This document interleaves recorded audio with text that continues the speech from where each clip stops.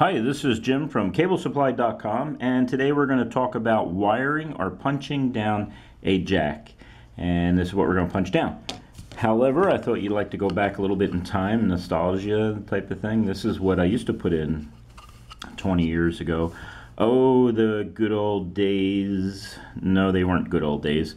But this is what I used to have to do. Little screw things. You'd, you'd strip the cable. You would... Uh, uh, take uh, stick them in there and you had to stick them in a certain way in a certain direction and sometimes they'd break off. Anyway I'm glad we're doing it differently today. And this is the jack we're going to use. This is uh, the one that we're going to punch down or actually it's called punch down today. Back then it used to be called wiring but today it's called punch down. So here's my victim cable. We're going to do this quickly. What you want to do is cut off that sheathing. You know, there's a lot of different ways you can do that. You can do it this way with a scissors. You can actually use your household scissors if you're a homeowner.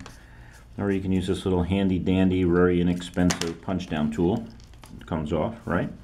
And uh, then what we're looking for is we're looking for that string. And you find that string. And you take it and you cut a little slot here for the string to go down. Start it. Try and do this quickly for you.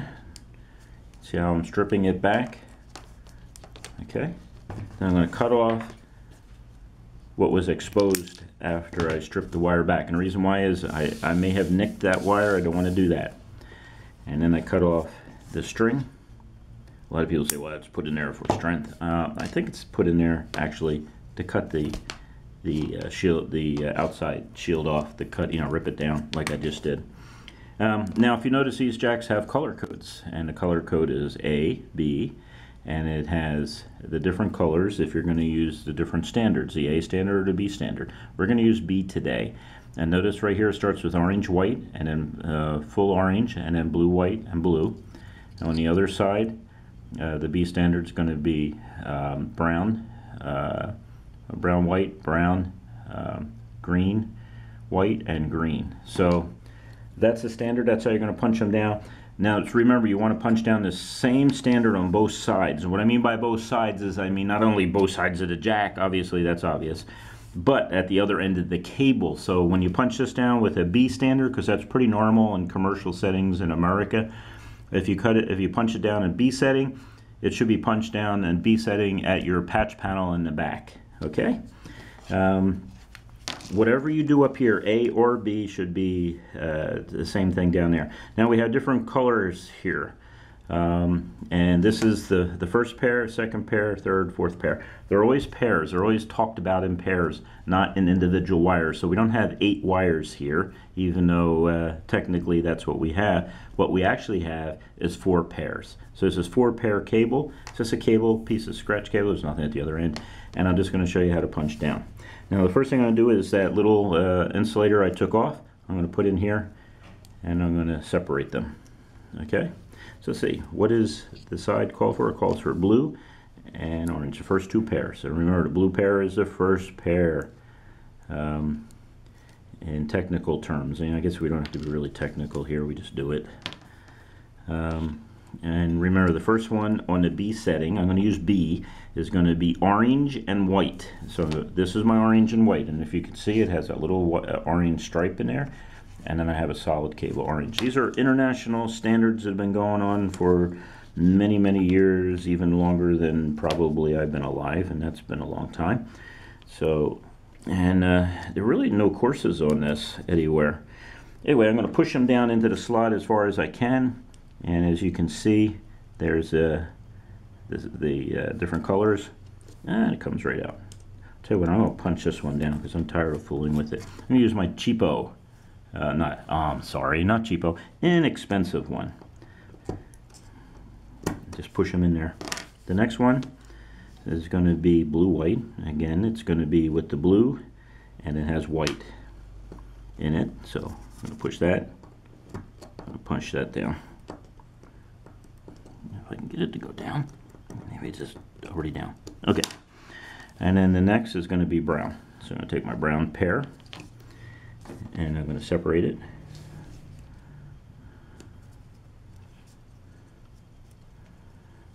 Separate it right to the edge there. I don't have to go all the way down. You want these cables to be as tight as you can. It doesn't have to be absolutely as tight as possible, but as tight as you can. And you push that down like that. And then, of course, the last one. Now I'm going to use my old handy dandy punch down tool that I've had for the last 20 years. It's a really nice punch down tool. We talk about punch down tools in another video. This is a professional punch down tool. Had it for at least 20 years. It's kind of beat up, but they last a long time. So I'm going to put this down here. I'm going to take the cutting edge. It says cut. Got a little edge there that sticks out. This is a 110 punch down. These are 110 jacks. I love 110 jacks. I don't like the universal punch down ones. They don't work as well. And I'm going to see if I can do this sideways for you. Oh, it's not that easy. Let me do it real quick.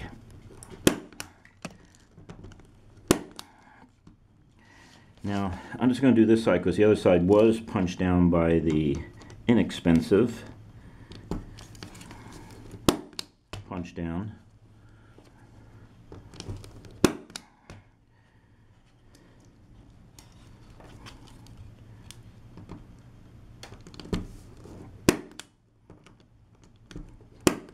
Now normally what I do is I hit it twice. So I'm going to go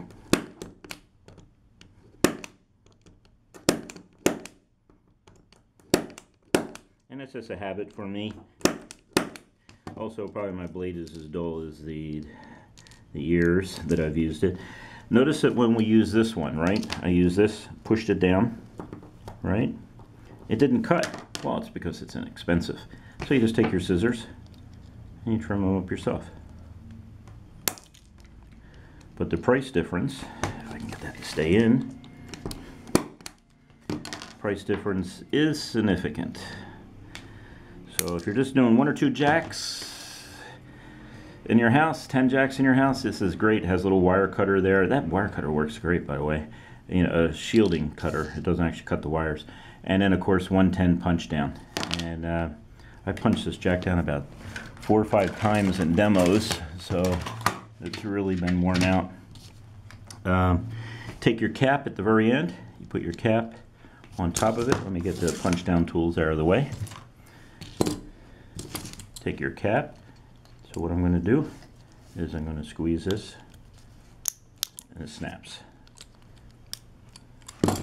And that's how you wire or punch down an RJ45 computer jack. Is 6, oh I'm sorry, it's 5E. That's the same for 6, same for all the other jacks. They're standardized. Again, this is Jim Gibson with CableSupply.com and thank you for watching my video. Hi, this is Jim with CableSupply.com. Hi, this is Jim from CableSupply.com. Hi, this is Jim with CableSupply.com, and today I'm going to show you how to cut a hole in the drywall. This is David signing out. You stay classy, Internet.